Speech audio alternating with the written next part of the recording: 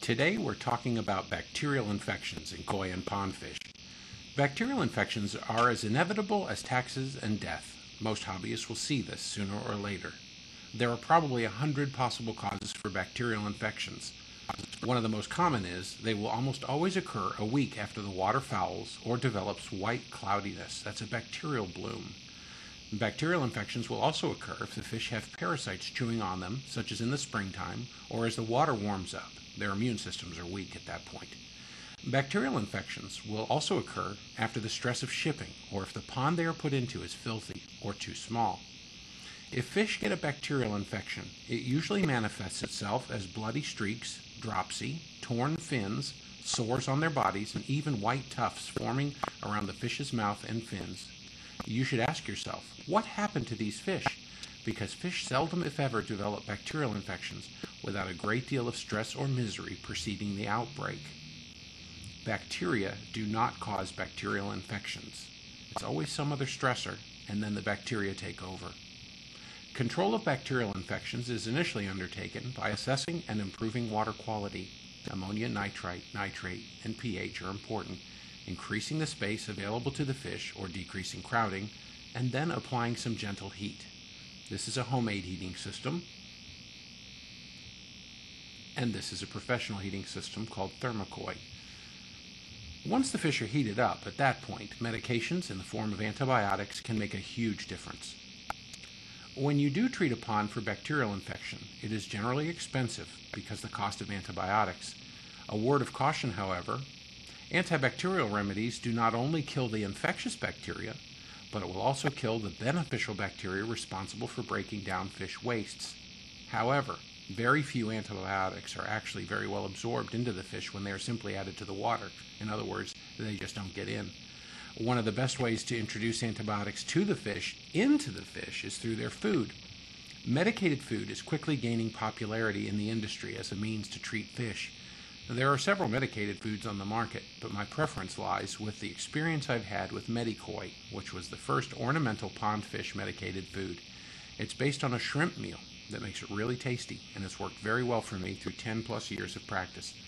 Not only can the food be fed during treatment, but it can also be given to the fish on occasion during periods of seasonal or shipping stress, such as early spring, as a preventative. Controlling bacterial infection.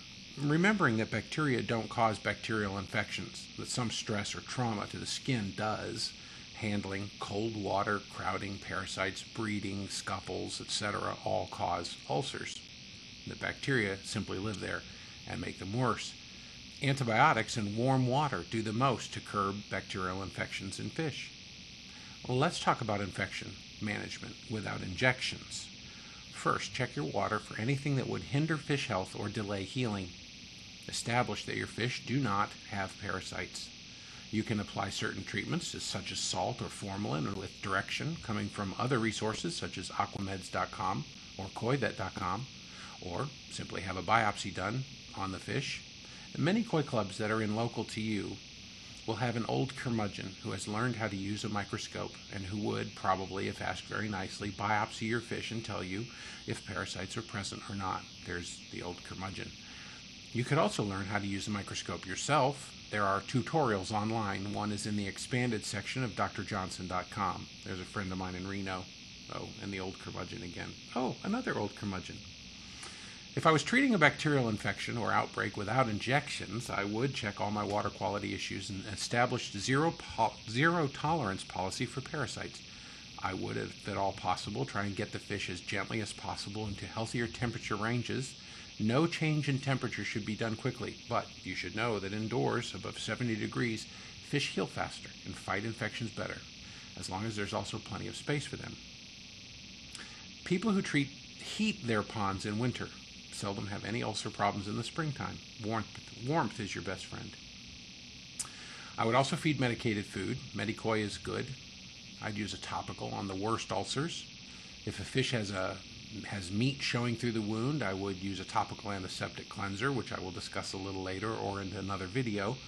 I would warn you though, do not over cleanse an ulcer or it will stop healing. The edges of the ulcer should be freshened once and then left to close in. Topicals are sometimes overused. I might dip the fish in a suitable antibacterial bactericidal dip. Several are available these days. Resources and recommendations can come from drjohnson.com, aquameds.com, and or koivet.com. There is personalized consultation services at no cost over at aquameds.com, which would put you in contact with your fastest remedy options. So, to recap warmth, medicated food, perfect water condition, no parasites, minimal crowding, and topical treatments form the mainstay of non injection treatment methods. But what if you could inject? Well, this forms the basis of another video in the Koi Beginner series. We'll talk about injections in detail. Thank you for your attention.